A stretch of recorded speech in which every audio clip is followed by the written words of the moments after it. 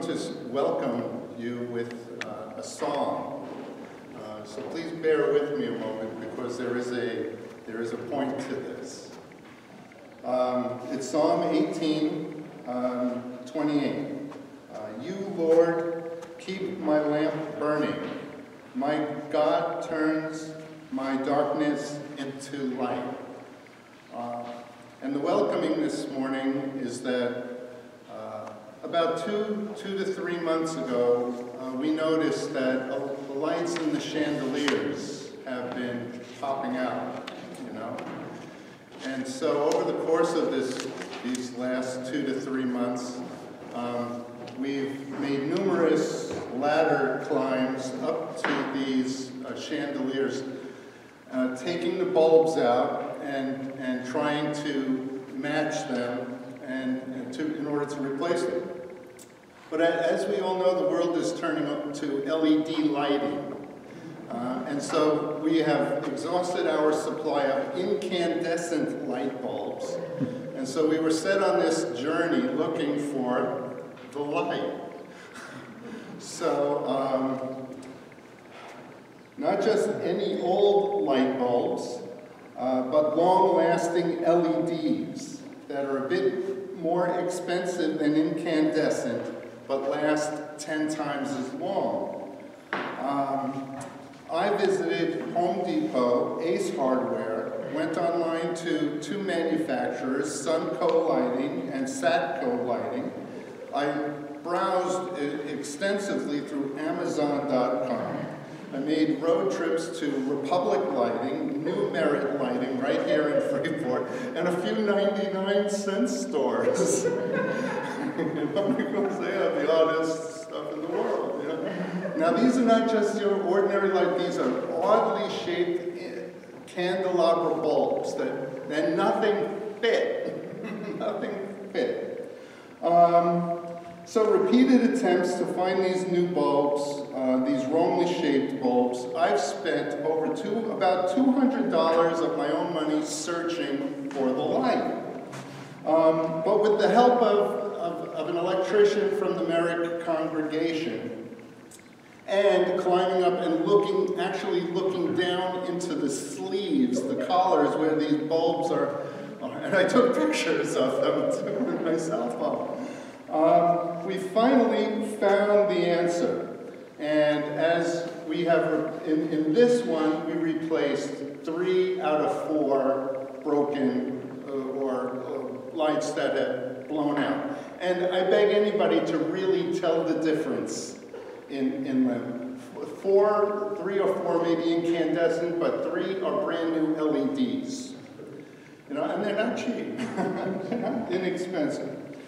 So, the answer, the timing of finding the, these lights is fitting. Um, and as we approach Easter, we have had success finding the light. Um, and uh, we see light at the end of the tunnel uh, in terms of this pandemic. Success finding light. So once again, thank you. Welcome to church this morning. Um, and please join me in the opening hymn.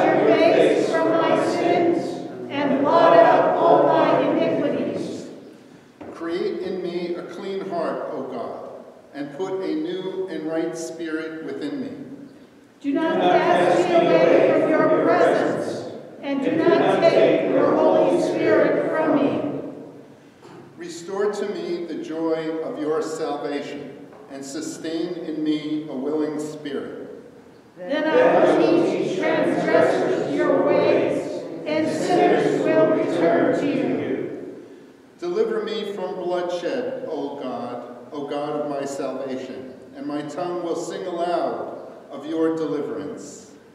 O Lord, open my lips, and my mouth shall declare your praise. Or you have no delight in sacrifice. If I were to give a burnt offering, you would not be pleased. The sacrifice acceptable to God is a broken spirit, a broken and contrite heart, O God, you will not despise. Please join me in a moment of silence uh, for peace and grace.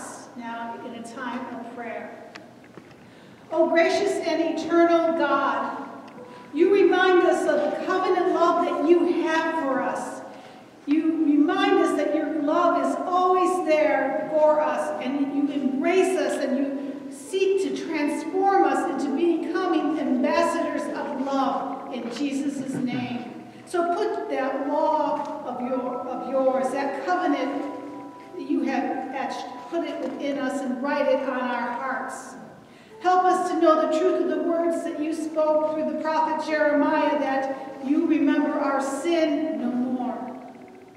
We pray for our human family. We so often do not have a vision to include everyone in this family. We witness so much brokenness and violence, and we pray for peace for all corners of the earth.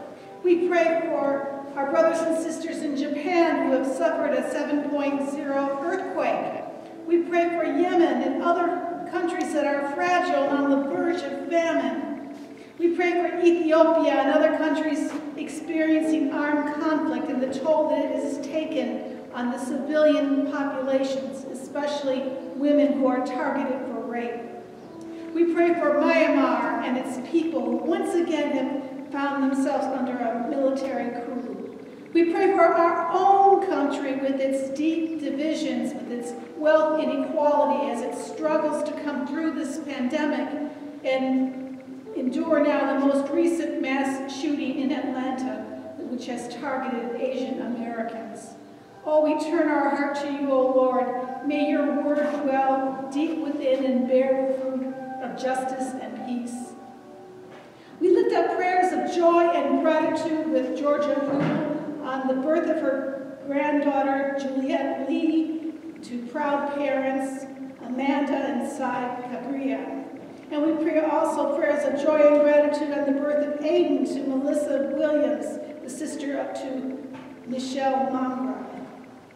We pray with Keith Poss for his sister Stephanie, who has stage four metastatic breast cancer. We pray with Claudia Jones for Barbara Reynolds, who is still in hospice care. Lord, as Lent draws to a close, soon will come the time for Jesus to be glorified. May we too be planted like grains of wheat into the heart of this world and bring forth the good news for the world to hear. And may we not treasure those things of the world so much that we lose our life. May we treasure the, the eternal life that is offered to us through life, death, and resurrection of our Lord Jesus Christ, who taught us to pray, saying, Our Father, who art in heaven, hallowed be thy name. Thy kingdom come, thy will be done, on earth as it is in heaven.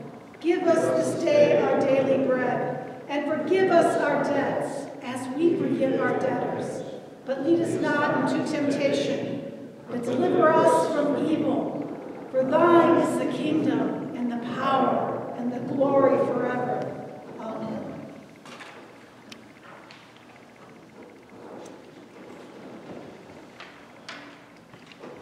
Keeping in the spirit of my welcoming, our welcoming remarks, please, um, the prayer for illumination. Guide us, O God, by your word and Holy Spirit, that in your light we may see light. In your truth find freedom, and in your will discover peace. Through Christ our Lord. Amen.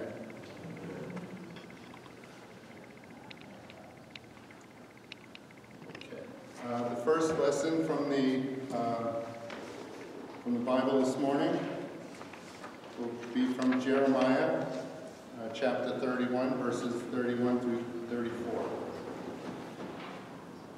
The days are surely coming, says the Lord, when I will make a new covenant with the house of Israel and the house of Judah.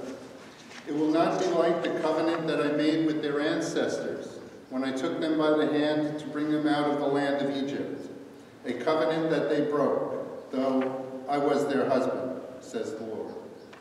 But this is the covenant that I will make with the house of Israel after those days, says the Lord. I will put my law within them, and I will write it on their hearts, and I will be their God, and they shall be my people. No longer shall they teach one another or say to each other, Know the Lord, for they shall all know me, from the least of them to the greatest, says the Lord. For I will forgive their iniquity, and I remember their sin no more. This is the word of our Lord. Thanks be to God.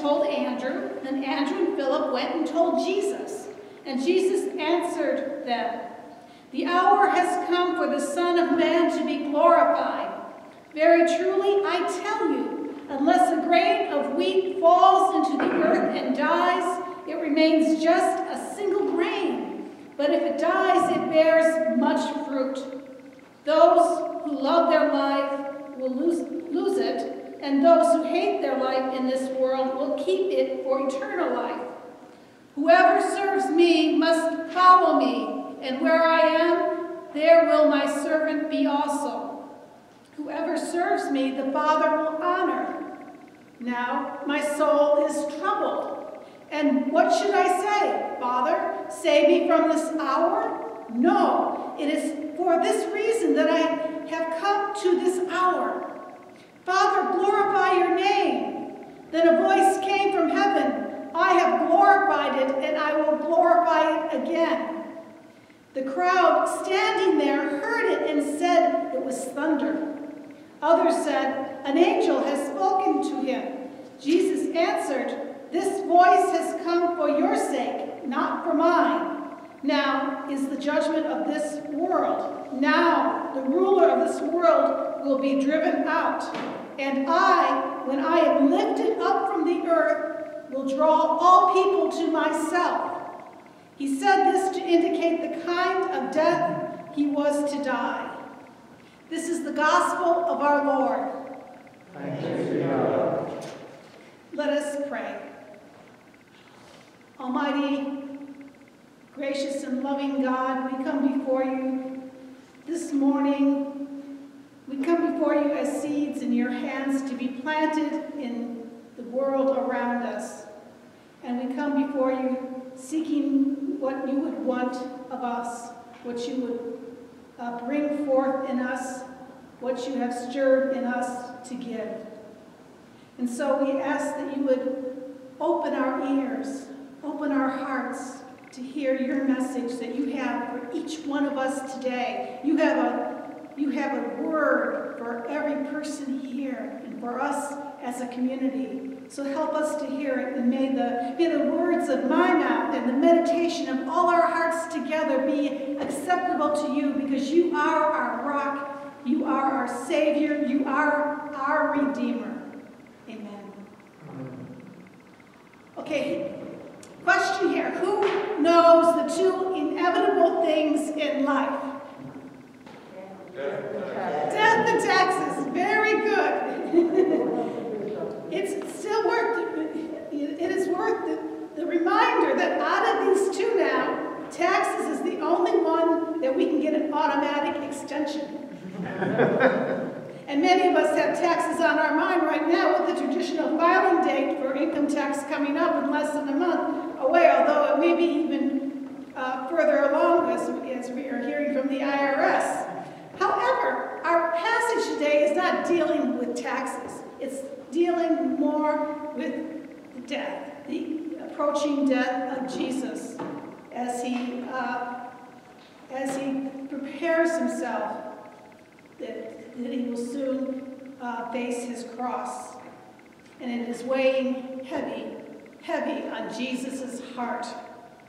Jesus has taken the news that these, these Greeks have that want to see him as a sign that his hour has come. Jesus knew that he had come into the world to bring the gospel not just to the Jewish people, but to the entire world. And the message has to spread and it has to grow. And Jesus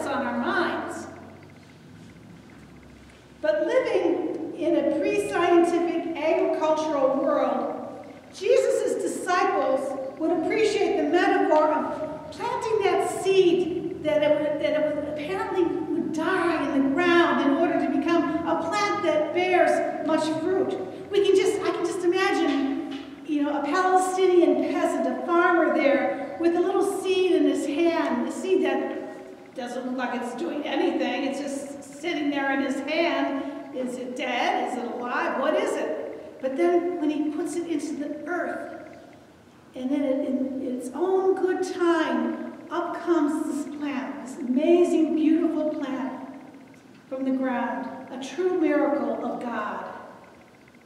And Jesus then latches onto this very image in order to help his disciples to understand the purpose of his impending death. For Jesus, death was just days away at this point, and his soul is troubled. As he will, he will later pray in the Garden of Gethsemane, uh, Father, take this cup from me. Here he says, similar, Father, save me from this hour. Should I pray this? And Jesus is struggling because he knows he came into the world to die for our sins. Jesus is bracing himself, speaking for himself as much as teaching his disciples that, that our life can get lost in all the treasure seeking we, we do and, and making the things of the world our priority.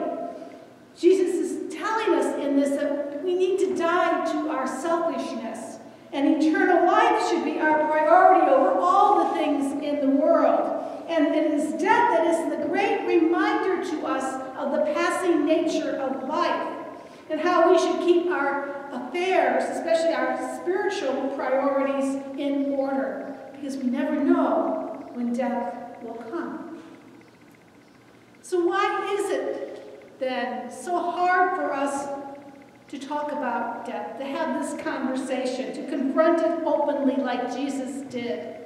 Our faith teaches us that death, redeemed by Jesus, leads us not to annihilation or non existence as we may fear, but it leads us to the fullness of eternal life with God. Facing death while we are alive can awaken us a desire to live our lives fully, with clarity, with energy, and with purpose. Facing death, though, and I'm going to be the first to say this, from my own experience, is hard and it is painful because we rarely, rarely treat adequately the wounds that death deals to us. Most of us bury our mourning and our fear half alive down deep in our hearts. And the reality is that people do die ugly, unjust, premature deaths. People do die alone and unloved. People die with bitterness and anger and resentments and fears. Death wounds in some ways that seem humanly impossible to recover, especially if death comes to a dearly loved one, a child, in a premature manner, or suddenly, or maybe it hits a family too often. Like some families who have lost how many people to COVID in their families? Or perhaps death can arrive in a vicious manner, like in a murder, a killing, just the kind of death that Jesus endured. But we must remember that life is this way too. People live in ugly, unjust ways. There are people who live alone and unloved. There are people who live with bitterness and anger, resentments, and consumed with fear. So life brings us wounds and obstacles that seem impossible to recover from. So we bury life and joy in our hearts and don't let it bloom. Neither life nor death is for the weak of heart. If we allow ourselves to sit alongside Jesus today, sit alongside that conversation about death, like the gospel asks us to do this week to prepare, it will lead us to where our soul is troubled, like Jesus's was. Death will take us to the loss, to the memories, the good times that we had, the bad, the sorrow, the unfinished business, the broken dreams. And sitting with death just a while, we come to experience the source of our real disease. We come to see how we have loved or failed to love in our lives. And Jesus would remind his disciples of the priority of love in the great discourse that he gave right before he died, when he, he declared to them, Let me give you a new commandment to love one another. Just as I have loved you, you love one another. This is how everyone will recognize you as my disciples when they see the love that you have for one another. So it is through the lens of love that Jesus prepares to face the betrayal of Judas, the denial of Peter, the desertion of all his disciples, becoming a pawn between those religious and political leaders who would torture him, mock him, and kill him because they saw him as a threat to their power and their status. And as Jesus struggles with his impending death, struggles with the knowledge that the hour indeed is coming, he models for us trust in God. He knows that he is a seed who has come to die so that all of us may live. We may not be imminently facing death, physical death of our body, but every day we have the opportunity to put to death parts of ourselves that keep us from loving those fears get in the way, the selfishness, the petty jealousies. Jesus is not telling us here to hate life per se, but to not make a priority those worldly things that would detract us from loving and relating well. Put God first, Jesus says. Put your neighbors second, Jesus says. And then, then ourselves last. Then we will have our priorities straight. Every day we reach out in love to someone else, and when, when we act sacrificially, our ego dies a little bit and dies to produce life, life in Christ's name that brings us to everlasting life. So, as we come closer now to the end of Lent, we are to begin to contemplate dying to live like Jesus did, not in some morbid, depressing way, but as a way to understand how, how precious is this gift of life that we have been given, especially eternal life. Because through Jesus, we too die to live, burying the seed of our life in this world with God's grace, that we will now bear the fruit of the gospel and bring it forth into the world.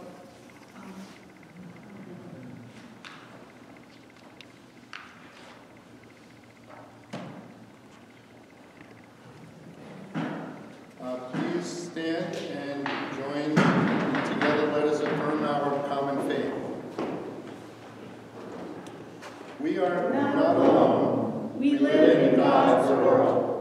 We believe in God who is created and is creating, who has come to us in Jesus, the Word made flesh, to reconcile and make new, who works in us and others by the Spirit. We trust in God. We are called to be the church, to celebrate God's presence, to live with respect in creation, to love and serve others, to seek justice and resist evil, to proclaim Jesus' message of hope, inclusion, and grace. In life, in death, in life beyond death, God is with us. We are not alone. Thanks be to God. Uh, This is the time uh, when we offer our uh, donations um, to the church. And um, I'd like to take a moment here just to read what uh, Glenn has written to us in an email this past week on, on this subject. I don't know if, if you folks have, have read it, but it's just a short excerpt uh, from Glenn's, Glenn's email on the topic, on the subject of offering. Um, Thanks to the people that sent in their tithes from the stimulus check. There is a great feeling when you do this, sending money back to God instead of the government. Do you realize how much taxes you pay? Thank you, Glenn, for reminding me. Besides income tax, besides property tax, besides school tax, take a look at your utility bills if that's not enough. Right? Your phone bills, your cable bills, your gasoline, and see how much of that is tax, or the new name for tax is fees. In giving back to God, it is voluntary, not sneaky or hidden. God doesn't force you to give back, He asks you to, and it is up to you to do it. And when you do it, you know that it is appreciated. Several members have given the stimulus tithes, and we encourage all members to do so. Do it once, and you will see what I mean. Thank you, Glenn.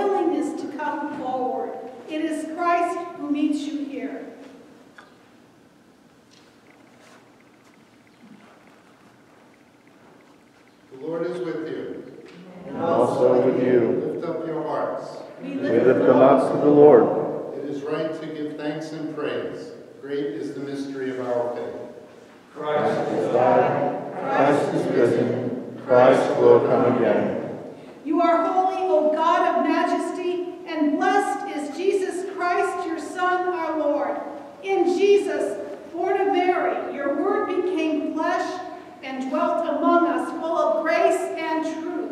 He lived as one of us, knowing joy and knowing sorrow. He healed the sick, fed the hungry, opened blind eyes, and broke bread with outcasts and sinners. Dying on the cross, he gave himself for the life of the world, and raised from the grave, he won for us victory over death.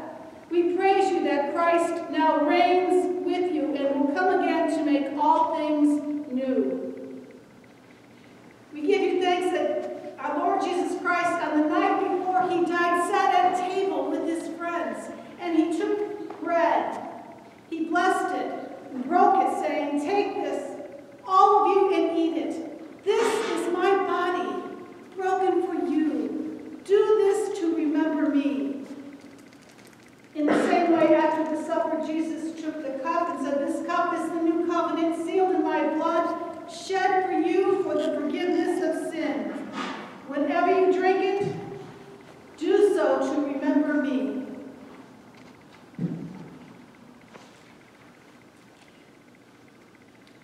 Gracious God, pour out your Holy Spirit upon us and upon these, your gifts of bread and wine, that the bread we break and the cup that we bless may be the communion of the body and blood of Christ. By your Spirit, make us one with all who share this feast, united in ministry in every place. As this bread is Christ's body for us, send us out to be the body of Christ into the world. So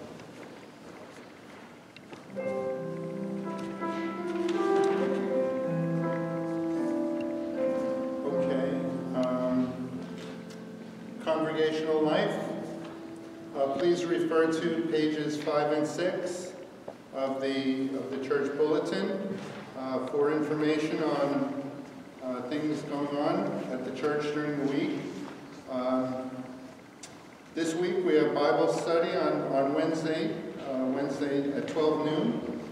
Um, And next Sunday is Palm Sunday.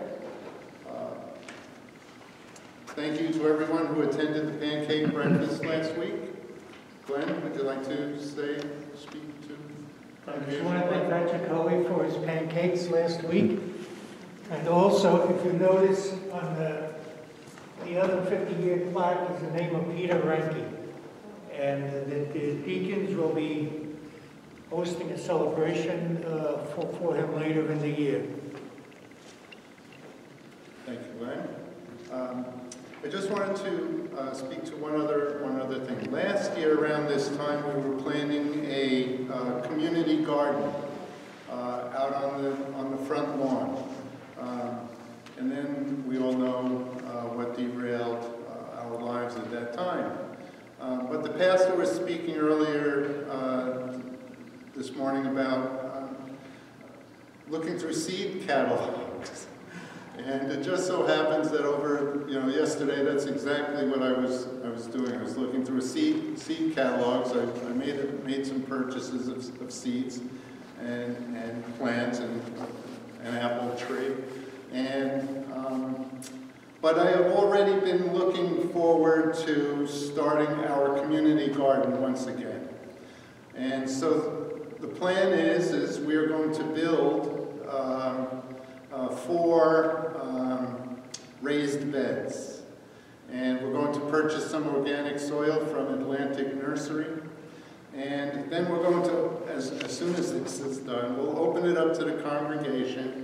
And if anybody would like to plant their seeds, we'll bring their plants, reserve one or part of a uh, raised bed. There'll be four of them, the plan is so far. Um, And then, you know, you will be required, you will be asked to maintain it. Um, And so we shall see how it goes, but that's, it's, it's still late, late March. Uh, I hope to have the construction part done by mid-April, and then perfect, perfect time for planting our seeds. Are there any other uh, congregational announcements or information? Okay, please join me in the closing hymn. Um, My song is Love Unknown. Please stand.